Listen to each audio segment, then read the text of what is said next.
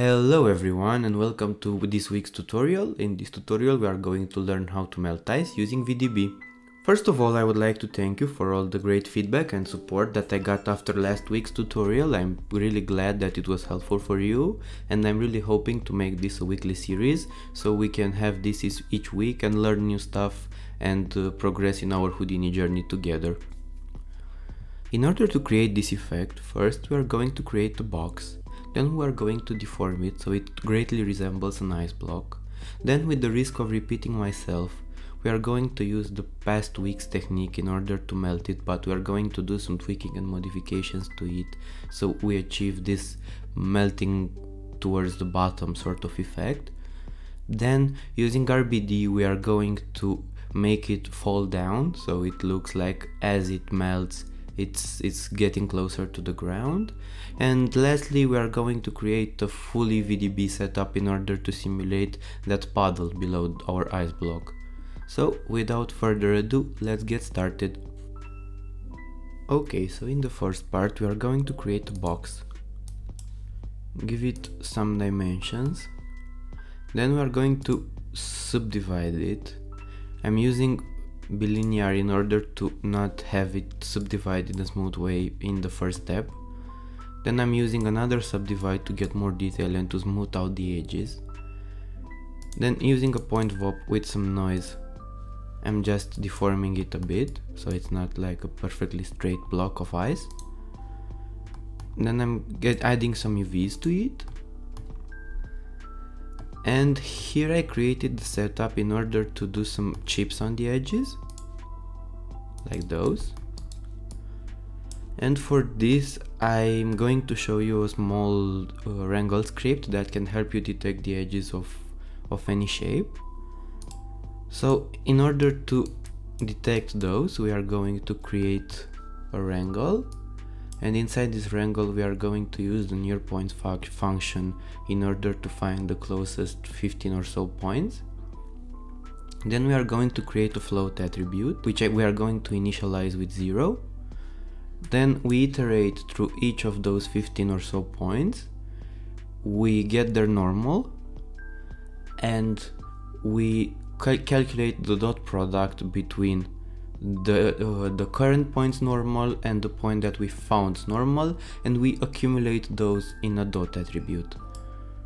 So if you don't know the dot product basically is uh, the calculation between two vectors that returns the sine function between the oh, the sine function of the angle between those two vectors so if we accumulate this we can find the areas where the normal has an abrupt change of direction. And if we fit this together between some values as you can see the difference is really small here we can isolate the edges. And after this we can scatter some points on those edges using the color as a density attribute.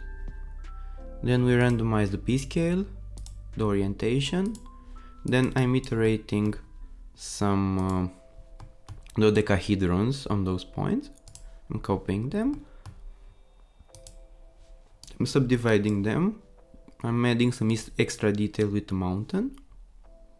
Then I just boolean subtract those out of the main shape. And then I color it back to white so we can see it better in the viewport. From here on now we get into the second part of this video where we are going to do the melting. So in order to do the melting the same as last week we are converting this shape to VDB. We also make sure to have the uh, UV installed as a as volume as well then inside our solver we have again the same setup with a VDB advect and with a VDB analysis set to gradient. And here we have a volume VOP.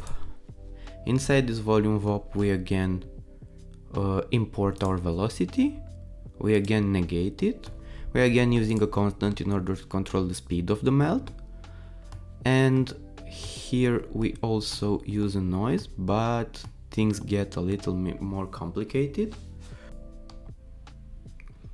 So what we have here is a technique that I'm using when I need to offset the position of a noise, but I don't want it to look completely linear as if the noise gets translated.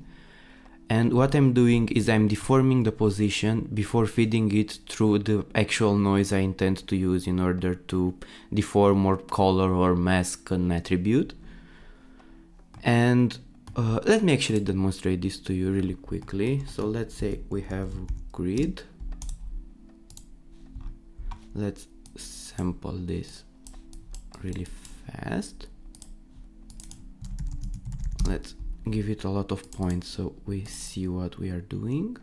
Then let's add a point VOP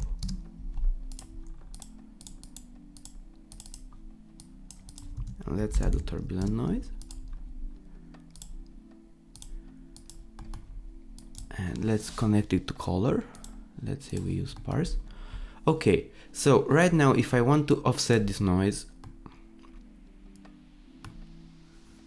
on one axis only as you can see the noise just translates from from minus from x to minus x and it's not it doesn't look that real or that organic so in order to make this look more believable, what we can do is we can create a secondary noise. We make sure that this one is a 3D noise. And we add it to our initial position. So we deform it a bit.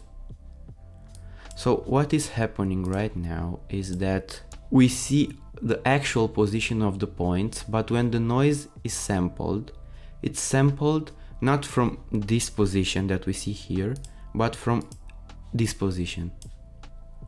Let me increase the frequency a bit so it's more clearer.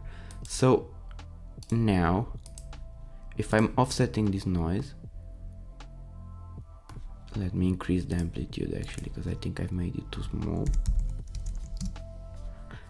So now if I'm offsetting this noise, as you can see, it it also deforms and it looks much more natural and believable. And playing with things like the frequency and the roughness and the amplitude here, we can we can really control this effect and give it give it really different looks depending on the effect we are looking for. So we use the same technique here of having a turbulent noise that's used to control sort of the the speed and the areas on which our noise affects the melt. We use this noise to deform the position so we don't have a linear movement of the first noise. Then here we control the offset using the time attribute, which is the current time in seconds, which I'm then multiplying by minus 0.1 so it goes towards minus y instead of positive y, so our melt is going downwards and not upwards.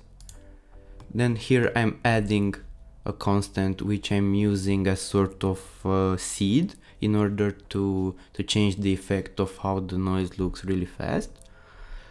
And also another thing that I've added here is I've created a relative bounding box, which if you don't know creates an attribute that's mapped from 0 to 1 depending on the bounding, bounding box of, of each axis. So here I'm using the y, uh, the y part of it again. So what is going to be, it's going to be 0 at the bottom and 1 at the top. And I want it to be the opposite. I want it to be 0 at the top and 1 at the bottom. So I'm using a complement node.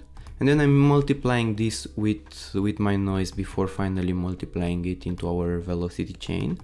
So what this achieves is that there's going to be the full effect of the melt at the bottom of the of the ice cube. And then at the top there's going to be less to no to no effect to it. And what I did with this was I attempted to simulate the fact that there's a heating source at the bottom of the cube that melts it that melts it sort of upwards. So it always melts from the bottom part towards the top part of the, of the ice cube. And here is the final effect. Like in the previous week we are using a VDB combine set to subtract. We are converting back to polygons and we are using these functions in order to create a mask by sampling the value of this SDF that's sort of the opposite of this this this SDF and then we compare this to a threshold so we can control our mask.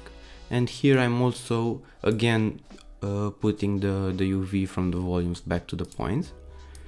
And what this achieves is these UVs that are sort of deforming in a really believable way which when combined with our texture is going to create this sort of a wavy effect that's going to make this look even more like ice that sort of melts as you saw in my render at the beginning of the tutorial. Here I'm just time shifting this so that toward the first 20 frames nothing happens. You will see why I did this in a bit. Then I'm packing this and I'm transforming it upwards a bit so it doesn't intersect with the ground. And here I have a basic RBD setup in order to make this fall as it melts because right now our effect has the ice cube sort of stuck in the air as it melts and I want this to look like it's sitting on a surface and that surface is hot and it melts the, the ice cube. So in order to achieve this I created a basic RBD setup. Here I just made sure that this RBD packed object is set to create deforming active objects. And here I gave it no bounce and I increased the density so it, uh, it looks more heavy. But other than that everything is default. Here you can also experiment with concave which will give you much more accurate uh, collisions but what I've observed is it also makes our simulation more unstable and it gives it sort of a tremble that's not really believable so I stuck with convex. Then I added just gravity, a ground plane and inside the rigid body solver I increased the constraint iterations again to get rid of that RBD tremble as much as possible and also really important I increased the sleeping time because this is not a very sort of explosive or really active movement. So if you leave it to the default sleeping time, after a while the DOPNet, the rigid body solver is going to think that this geometry is not doing anything, so it will sort of freeze it and not update it anymore, and we don't want that, we want it to slowly fall down. So increase this to a number that's preferably large than your than your current simulation. And here it is.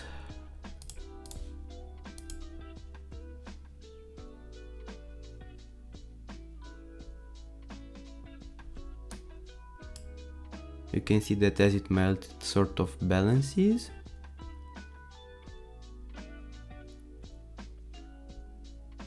And it falls like towards the front of it because it gets heavier here.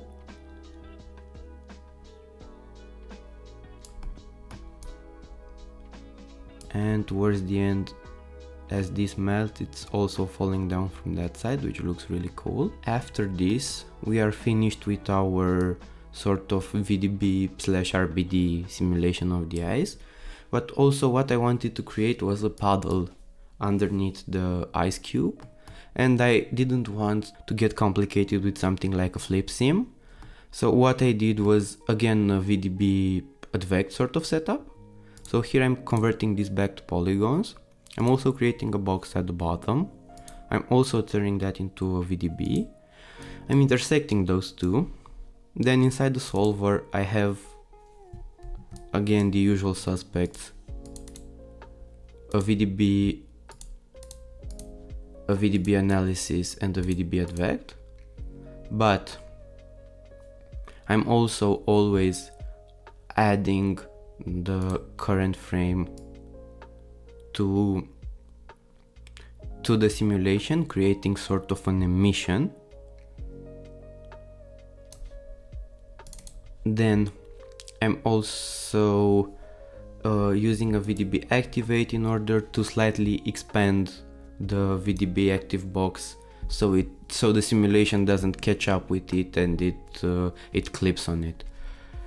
Uh, here instead of a volume VOP I used a volume wrangle because the setup was is much more simple. And here inside this volume wrangle I'm basically multiplying the velocities y direction with 0.01 so we have little to no inflation on the up axis and I'm also multiplying this with a noise. So it doesn't progress that linearly. It has a more organic look to it. Then I'm expanding this a bit I'm also in order to create better better looking interaction with our ice cube I'm combining them back together. I'm smoothing them out a bit. And then I'm taking the ice cube back and smoothing it a bit more again before converting it to polygons.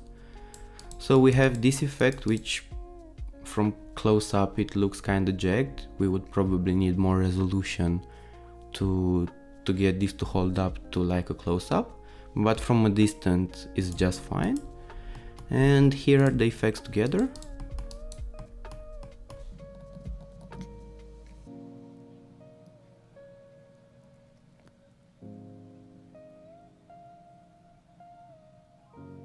So this was our melting effect using nothing but VDBs. I hope this was helpful for you.